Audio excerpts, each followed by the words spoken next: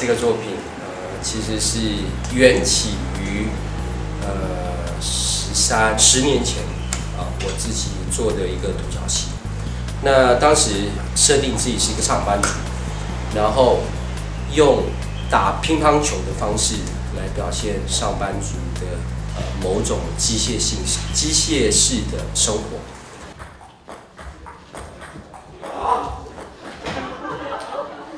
一件事情需要做两次吗？效率！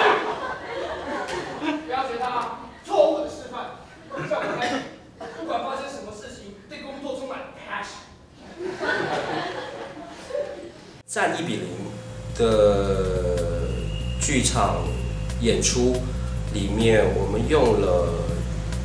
好几种球类运动哦，乒乓球、棒球、排球、跆拳道、拳击、呃网球、足球等等。我觉得应该很多啊，那呃观众应该会看到，呃演员们在肢体的展现的这个过程中，应该会辨识到这些动作的源头。Lesson two，不要让家人失望，不要让社会失望，不要让朋友失望，重点是不要让我失望啊！在这个演出里面，所谓运动来用用用运动的素材来表现，呃，戏剧中人跟人的张力，呃，基本上呃，我们有用运动的游戏规则，啊，运动比赛的这种规则，呃，表现两个人在打乒乓球，哦，但是他们用的这个裁判用的呃规则，比赛规则。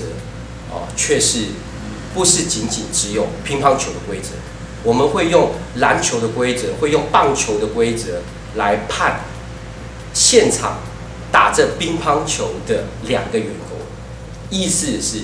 其实就是要压榨他们，啊，就是欺负他们，这是其中一种情节。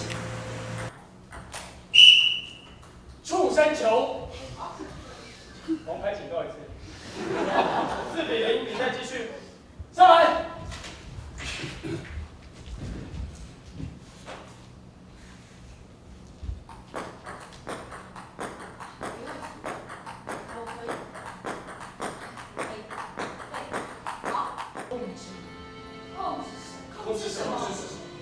不要偷懒，不要耍帅，不要松懈，不要想太多，不要给他机会，不要犯规，球不要发太高不，要带球撞人，不要越位，不要轻敌不，要偷跑不，要硬上。控制，我没有控制你。运动的肢体的律动，运动的张力，呃，用运动的变速，哦，然后用运动的规则去表现人跟人的竞争。那所以我觉得这个方式、这个形式，应该不能够说是独有的啦。那我觉得是罕见的作品，其实是有说一些事情，啊、有表现一些事情，而不是那么表面的寻找到一个形式，一个有趣的形式而已。